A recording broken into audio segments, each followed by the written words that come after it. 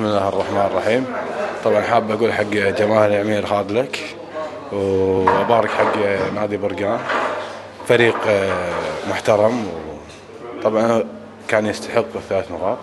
طبعا إحنا بالشوط الثاني آه، ضيعنا تقريبا ما يقارب ثلاث فرص أو فرصتين محققة لكن حارس برقان ما شاء الله عليه قدم مباراة كبيرة يستاهل الصفقة.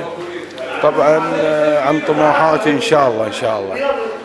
إن شاء الله تمثيل المنتخب الأول وتقديم الأداء اللي يرضي جماهير العميد إن شاء الله. كابتن المنافسة في الخط الخلفي لنادي الكويت صعبة جدا وجود رابط وجود فهد وجود لاعب كبار. شايف إن الأفضل آه، تكون تستمر وتنافس أو إن تاخد فرصة كاملة كإعارة؟ لا أكيد. أنا طبعا أحترم إخواني الكبار فهد الهاجري فهد حمود حسين حاكم مشاري قناع طبعا هذول أنا أتعلم منهم. وأما سالفة الإعارة هذه يمكن ما تطلع مني أنا.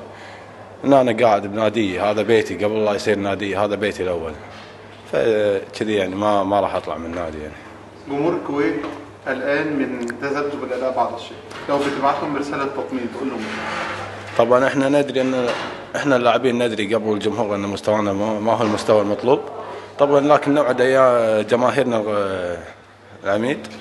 إن بكأس واحد نقدم لهم المستوى اللي يرضى القلب إن شاء الله. آخر حاجة يا كابتن نادي الكويت هو الاكثر تتويجا في السنوات الأخيرة. شلون؟ ومع ذلك نادي الكويت الاكثر تتويجا في السنوات الأخيرة. ومع ذلك في هجوم بشكل مستمر على النادي تفتكر سبب؟ طبعا أكيد. طبعا السنوات الأخيرة نادي الكويت كان مستحق البطولات كلها. طبعا طبعا هالموسم أنت مثلا مثل ما أنت عارف دوري تصنيف وأهم شيء هو الصعود حق الدوري الجاي. فإن شاء الله بالدوري الجاي كل حادث حديث. إن شاء الله. إن شاء الله.